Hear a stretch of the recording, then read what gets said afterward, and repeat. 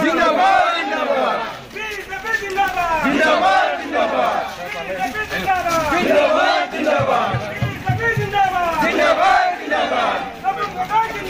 जिंदाबाद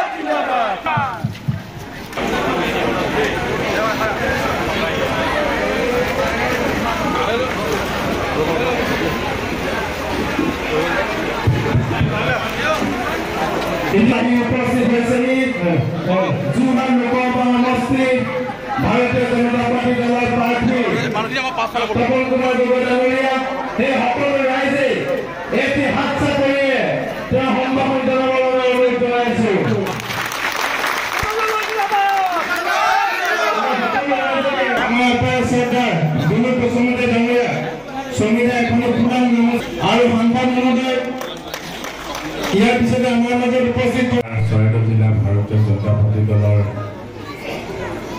আমি সফল কৰি দেখুৱাম তেতিয়া দেখিব যে আমাৰ বহু নিবনুৱা যুৱক যুৱতী ইয়াত সংস্থাপিত হোৱাৰ ক্ষেত্ৰত আমি পদক্ষেপ ল'ব পাৰিছোঁ। এই ধৰণৰ চিন্তাৰে আমাৰ কাম কাজবিলাক হ'ব। সেইকাৰণে মই আশা ৰাখিম সাপে খাটি মোৰ জন্ম জেগা সাপে খাটি মোৰ আপোন ঠাই এইখন এল পি স্কুলতেই প্ৰথম পঢ়িছিলোঁ প্ৰি প্ৰাইমেৰী আৰু তাৰ পৰাই গৈ মই নিজৰ গাঁৱৰ ঘৰলৈ গ'লোঁ। সেইকাৰণে জন্ম ঠাই সেইডোখৰ মোৰ গাঁৱৰ ঠাই তাত ডাঙৰ দীঘল হৈছোঁ ইয়াত মই জন্ম হৈছোঁ। সেইকাৰণে এই আপোন ঠাইডোখৰৰ কথা কেতিয়াও পাহৰি নাযাওঁ। আপোনালোকে আশীৰ্বাদ কৰিব এই হাবে খাটি ডেভেলপমেণ্টৰ কাৰণে আমি ভৱিষ্যতৰ দিনত আমাৰ যিমান কৰণীয় আছে সেই কৰণীয়খিনি কৰাৰ ক্ষেত্ৰত আমি কেতিয়াও পিছু নাহোঁ সেইদিনা হাবে খাটি চাৰিআলিত আমি যিটো অডিটৰিয়াম আমি সম্পূৰ্ণ কৰিলোঁ তাক মুকলি কৰিলোঁ আমাৰ ল'ৰা ছোৱালীয়ে আজি সোণাৰী বা শিৱসাগৰত গৈ বেডমিণ্টন খেলৰ প্ৰেক্টিচ কৰিব নালাগে। সাপে খাটিতে ভৱিষ্যতে অত্যাধুনিক এটা ইনডোৰ ষ্টেডিয়াম আমি এই আমাৰ ব্লকৰ দিনত আমি নিৰ্মাণ কৰিম য'ত আমাৰ ল'ৰা ছোৱালীয়ে বেডমিণ্টন খেলিবৰ কাৰণে টিটি খেলিবৰ কাৰণে যিটো চিন্থেটিক কোৰ্টত খেলে প্ৰতিযোগিতাত অংশগ্ৰহণ কৰিবলৈ যাব পাৰে তেনেধৰণৰ চিন্তাৰে ইনডোৰ ষ্টেডিয়াম এটা আমি হাবেখাটি ব্লকৰ দিনত আমি নিৰ্মাণ কৰাৰ পদক্ষেপ ল'ম। এই কথাটো আমি ৰাইজক অৱগত কৰিছোঁ। কাম আৰম্ভ কৰিছোঁ। ইয়াৰ মহাবিদ্যালয় হওক ইয়াৰ বিদ্যালয়বিলাকেই হওক নামঘৰেই হওক বিভিন্ন অনুষ্ঠান প্ৰতিষ্ঠানেই হওক সকলো স্তৰতে সেইখিনিক সহায় কৰিবৰ কাৰণে আমাৰ চৰকাৰে কাম কাজ কৰি আছে। দুহেজাৰ চৈধ্য চনত নৰেন্দ্ৰ মোদী ডাঙৰীয়াই প্ৰধানমন্ত্ৰী হিচাপে দায়িত্ব ল'লে। চৈধ্য চনৰ পৰা দহ বছৰ এতিয়া কাম কৰি আছে। আজি আমি অমৃত কালত আছো। প্ৰতিটো স্তৰতে মানুহৰ হকে কাম কৰিবৰ কাৰণে প্ৰধানমন্ত্ৰী ডাঙৰীয়াই নেতৃত্ব লৈছে। আৰু যিমানবিলাক আঁচনি দিছে কেন্দ্ৰীয় চৰকাৰে সেই আঁচনি জনসাধাৰণে পাবৰ কাৰণে আজি সক্ষম হৈছে। আজি আপোনালোকে দেখিছে যে প্ৰধানমন্ত্ৰী ডাঙৰীয়াই মহিলাসকলৰ কাৰণে উজালা স্কীমৰ জৰিয়তে গেছৰ কানেকশ্যন দিয়াৰ ব্যৱস্থা কৰিছে। আজি প্ৰায় সমগ্ৰ ভাৰতবৰ্ষত দহ কোটিৰ ওপৰত মহিলাক এতিয়ালৈকে গেছৰ কানেকশ্যন দিয়াৰ কামিত হৈছিলো। এই ঠাইডোখৰতে প্ৰথম সভা অনুষ্ঠিত কৰিছিলো। আৰু এইবাৰ এই ঠাইডোখৰৰ পৰা মই আপোনালোকৰ আশীৰ্বাদ লৈ যাত্ৰা আৰম্ভ কৰিব বিচাৰিছো। আপোনালোকে শেষত আশীৰ্বাদ কৰিব। নিজৰ ল'ৰা বুলি নিজৰ ভাই বুলি নিজৰ ভতিজা বুলি আপোনালোকে এইখন নিজৰ ককাই বুলি বন্ধু বুলি ভাবিব আৰু আপোনালোকে শেষত আশীৰ্বাদ কৰিব। ঊনৈছ তাৰিখৰ দিনটোৰ কথা মনত ৰাখিব। মোৰ ভৰি ভগাৰ কাৰণে মই প্ৰত্যেকৰ ওচৰলৈ যাব নোৱাৰিব পাৰোঁ কিন্তু আপোনালোকে প্ৰত্যেকৰ ওচৰলৈকে যাব মোৰ হৈ। আপোনালোকে ক'ব যে আমি তপন গগৈ হৈ আহিছোঁ। আমাকে তপন গগৈ বুলি এইকেইদিনৰ কাৰণে ধৰি লওক আপোনালোক প্ৰত্যেকৰ ওচৰলৈকে গৈ চৰকাৰ চলাইছে নৰেন্দ্ৰ মোদী ডাঙৰীয়া দহ বছৰ প্ৰধানমন্ত্ৰী হৈছে আমি ইয়াত ষোল্ল চনৰ পৰা চৰকাৰ চলাই আছো কিন্তু ডেভেলপমেণ্টৰ কাৰণে আমি কেতিয়াও ক'তো পিছ পৰি থকা নাই। আৰু উন্নতি হ'ব আমাৰ যোৰহাট লোকসভা সমষ্টি আজি বসুন্ধৰা আঁচনিৰ জৰিয়তে আমি মাটিৰ পট্টা দিছোঁ যিমান মানুহৰ হাতত চৰকাৰী মাটিত আপোনালোকে আছে দখল কৰি আছে ভূমিহীন মানুহক আমি মাটিৰ পট্টা দিয়াৰ কাৰণে আমাৰ চৰকাৰ প্ৰতিশ্ৰুতিবদ্ধ আমি ভূমিহীন মানুহক মাটিৰ পট্টা আমি দিম। আমি মাটিৰ পট্টা দিয়াৰ ক্ষেত্ৰত আমি কেতিয়াও টিপনালি নকৰোঁ। আত্মসহায়ক গোটবিলাক আপোনালোকৰ আছিলে নাই? আপোনালোকে আত্মসহায়ক গোট মেম্বাৰ হয় নহয়? কিমান মহিলা আছে? চবে ফৰ্মখন ফিল আপ কৰিলে নাই? কৰিলে? এতিয়া আপোনালোকৰ সেই ফৰ্মখনত ব্যক্তিগতভাৱে দহ হাজাৰকে পইচা সোমাব।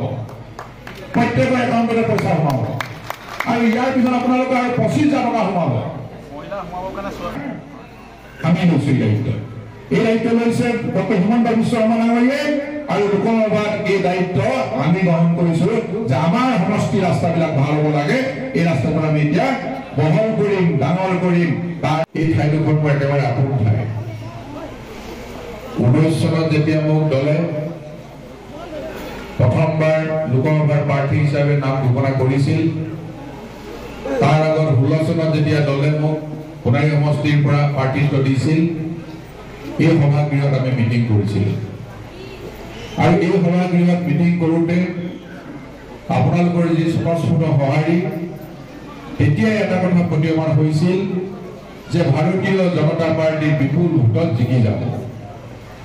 আৰু আজি ইয়াত সভা কৰিবলৈ অহাৰ লগে লগে আপোনালোকৰ স্বতঃস্ফূৰ্ত সঁহাৰি এটা কথাই প্ৰমাণ কৰিছে প্ৰতিটো চকুন মোৰ নখ দৰ্পণত আছে। আজি যোৰহাট লোকসভা সমষ্টি মই যেতিয়া মোৰ দহটা সমষ্টি আছে এই দহটা সমষ্টিৰ চকুন আজি মোৰ নখ দৰ্পণত আছে। কাৰণ মই বহুবাৰ মই অঞ্চলবিলাক ঘূৰিছোঁ বহুবাৰ মই ৰাইজৰ লগত কথা পাতিছোঁ অঞ্চলবিলাকত কেনেকুৱা ধৰণৰ পৰিৱেশ আছে সেইবিলাক কথা আমি জানি লৈছোঁ। আৰু সেইকাৰণে মই ভাবোঁ যে নিৰ্বাচনত যেতিয়া আমি অৱতীৰ্ণ হওঁ নিৰ্বাচনত অৱতীৰ্ণ হ'লে ভৌগোলিক যিটো মোৰ পৰি পৰিসীমা সেই গোটেই পৰিসীমাটোৰ বিষয়ে মই ভালকৈ অধ্যয়ন কৰি লোৱা উচিত আৰু সেইকাৰণে মোৰ ক্ষেত্ৰত মই ভাবোঁ তেনেধৰণৰ কোনো সমস্যা কেতিয়াও সৃষ্টি হোৱা নাই আৰু ভৱিষ্যতে আমাৰ সমস্যা সৃষ্টি নহয় কালি দেখা গৈছে যে আমাৰ যি সংস্কৃতি পৰম্পৰা আছে যে ভোটাধিকাৰী ওচৰলৈ যাব যাওঁতে এযোৰ পোচাক পিন্ধি যাবলগীয়া হয় তেওঁ মন্ত্ৰী পিন্ধি গৈছে এই অনুভৱ ক'ব নাই সেইটো সম্পৰ্কত মই একো কমেণ্ট নিদিওঁ। আমিও কেতিয়াবা ধৰি লওক আমি যাওঁ। যিটো আমাৰ পৰম্পৰা আছে যিটো সংস্কৃতি আছে সেইটো আমি ৰক্ষা হোৱাটো আমি চবেই বিচাৰোঁ। কিন্তু কেতিয়াবা এনেকুৱা হ'ব পাৰে এতিয়া মোৰ এতিয়া ভৰিটো ভাগি আছে।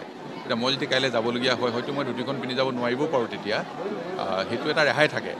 সেইকাৰণে কি পৰিস্থিতিত গৈছে মইতো নাজানো। কিন্তু মই যদি আজি এতিয়া ক'ৰবালৈ যাবলগীয়া হয় হয়তো মই ধুতিখন পিন্ধি যাব সেই সময়ত নোৱাৰিবও পাৰোঁ। সেইকাৰণে মই তেতিয়া অনুমতি লৈ লওঁ মোক দুখ নধৰিব। মোক মোক এনেধৰণে যাবৰ কাৰণে পাৰ্মিশ্যন এটা দিয়ক। তেতিয়া মই তেনেধৰণে মোৰ দুখ মোৰ দুখটো মই তেতিয়া স্বীকাৰ কৰি লওঁ যে মই এইটো কাৰণে মই আচলতে তেনেধৰণে আহিব পৰা নাই বুলি। সেইকাৰণে বেলেগে কেনেধৰণে কি পৰিস্থিতিত গৈছে মই সেইটোতো নাজানিম। কিন্তু মোৰ নিজৰ কথাটো কৈছোঁ যে মই যদি যাবলগীয়া হয় মই তেতিয়া অনুমতি লৈ যাম যে মোৰ এনেকুৱা এটা হৈ আছে যাতে মোক যাতে আপোনালোকে এনেধৰণে যাবৰ কাৰণে যাতে অনুমতি এটা দিয়ে। মইতো সেইটো নিশ্চয় সুধি ল'ম।